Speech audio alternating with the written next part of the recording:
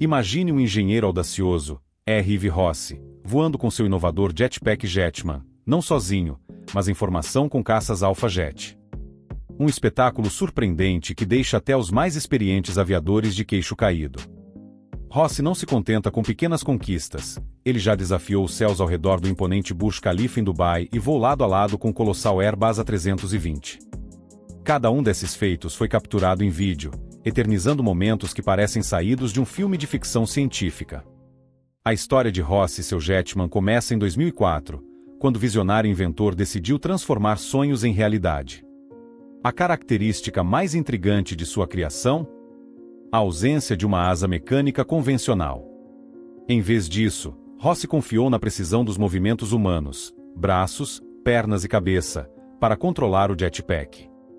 E ele não parou por aí. O Jetman pode atingir velocidades impressionantes de até 300 km por hora, com tempo máximo de voo de 10 minutos com um tanque cheio. Mas como esse engenhoso aparelho decola e aterrissa? A resposta é igualmente fascinante. Para alçar voo, o piloto precisa de um avião ou helicóptero, e na hora de voltar ao solo, um paraquedas garante uma aterrissagem segura. Avancemos para um desfile militar na França, em 14 de julho de 2019.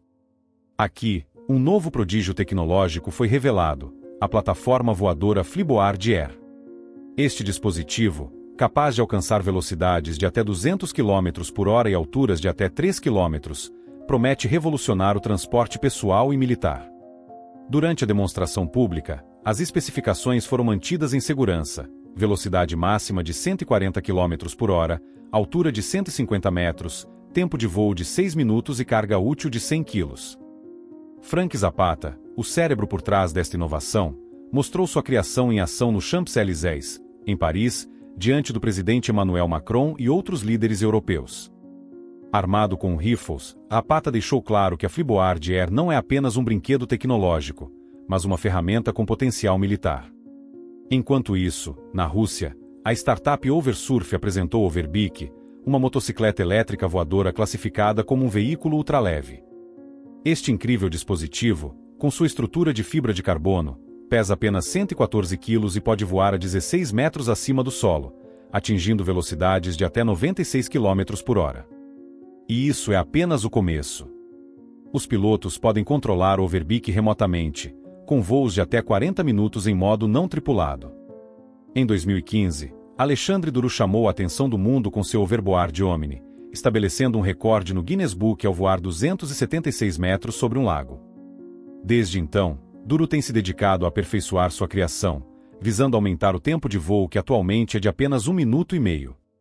Nos Estados Unidos, a Jetpack Aviation introduziu o JB-11, um jetpack que desafia os limites da velocidade ao atingir até 320 km por hora. Equipado com seis motores turbojato, o JB-11 pode alcançar alturas de 4,5 km e voar por 12 minutos. Este avanço tecnológico chamou a atenção da Defesa Civil de Dubai, que planeja usar esses jetpacks para combate incêndios em arranha-céus. A jornada pelo futuro da aviação pessoal não para por aqui. A Martin Jetpack, que parecia um sonho distante, está prestes a se tornar realidade. Capaz de atingir velocidades de 75 km por hora e voar quase um quilômetro de altura, este dispositivo promete ser uma das aeronaves mais seguras do mundo, funcionando com combustível convencional e equipado com balão de lastro para emergências. Em julho de 2018, a Gravity Industries começou a comercializar um traje voador, semelhante ao do Homem de Ferro, impresso em 3D e equipado com cinco motores.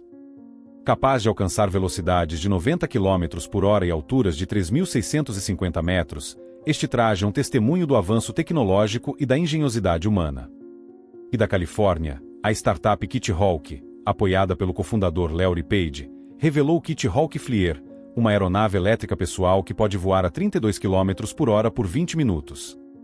Este dispositivo ultraleve promete transformar o transporte urbano, especialmente sobre a água, e está destinado a grandes empresas de transporte. No início de junho de 2021, testemunhamos o nascimento do primeiro helicóptero de mochila do mundo. Este drone pessoal, com dois propulsores de 90 centímetros, oferece uma nova dimensão à aviação pessoal.